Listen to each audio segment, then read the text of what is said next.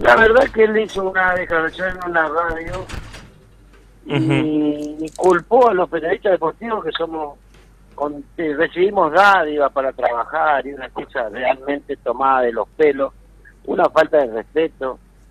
La verdad yo no entiendo porque realmente yo tenía mucho aprecio por Héctor Gómez.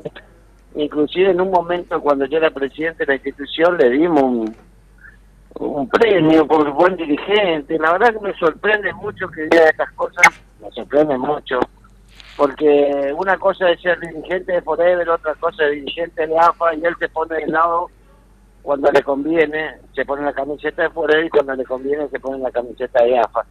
Pero bueno, son cosas que pasan. Eh, yo creo que una de las cosas que yo hemos trabajado mucho cuando en su tiempo Raúl Valdés, que justo ustedes estaban hablando, Sí, sí. Era eh, director de deporte. De tratar de hacer reuniones, hacer eh, informarnos con los directivos. Había que profesionalizar los directivos de los clubes. Pero bueno, yo veo que a veces no se ponen en el lugar que están y nos falta el respeto a los periodistas. Yo voy a defender a cada uno, estén afiliado al círculo no, porque realmente los muchachos hacen un trabajo con un esfuerzo impresionante.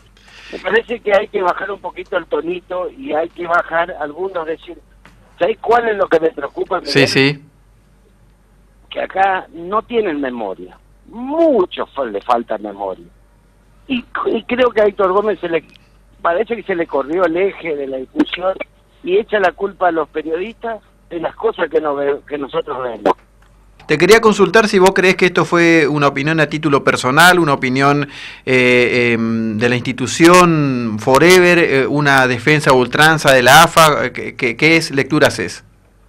No, yo creo que fue personal. Eh. Yo no involucro a Forever, al contrario, Forever es una institución que es señora en el Chaco, una institución respetada en toda la en todo el país. Yo viví en Ushuaia y a mí me decían Chaco Forever.